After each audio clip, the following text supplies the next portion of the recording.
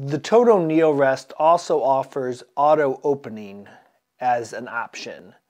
The auto opening is located under auto functions and auto open close. Press the enter button to select that. The auto opening function is a, a feature that people either love or they hate.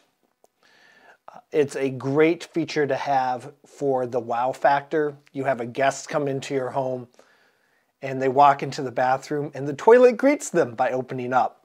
Fantastic. Lots of fun, a guaranteed conversation starter. But if you're in a home with a lot of pets, sometimes that auto opening can be annoying. Or if you have a small bathroom and you're going into the bathroom all the time for things other than using the restroom, sometimes the auto opening can be annoying as well. That's why it's great to know that the auto opening can be turned off. So we've entered into the auto opening settings here. Let's do that again real quick. On the back of the remote, press the menu option, this top button on the side, scroll down to number three, auto function.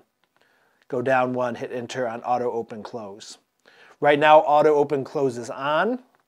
We can select off and hit the enter button.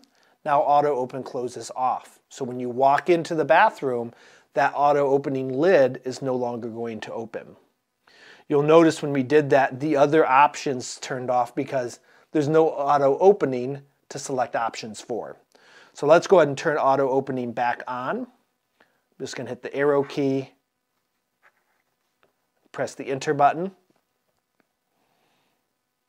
And now we see our, our next options available. Auto open or auto close delay. So we can select how long it waits before auto closing the, uh, the lid and the seat if the seat's up. Hit the enter button once we've selected our time frame and that's been saved. Auto open delay. So if you know as an example that sometimes your dog or your cat might quickly move past the toilet, maybe you set an auto open delay of 30 seconds. You know that when you walk into the bathroom, you're going to be there a little bit longer and you don't want the, the pets causing the auto opening to, to take place. But if you're going to be there for a, a little bit of a longer period of time, you know that that's when you want to open. You can configure that. You can also configure what opens when the auto open takes place. So by default, it is just the lid that opens. Most people keep this default, but also most people don't realize that you can actually change this to the seat and the lid. So if you want the lid to auto open and the seat to auto open, when it senses motion near the toilet, you can turn that on. We're gonna go ahead and change it back to just the lid, but that is something else that we can configure.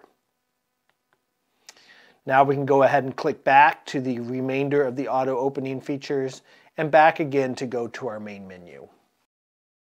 ManyBidets.com, where we sell many bidets, not mini bidets.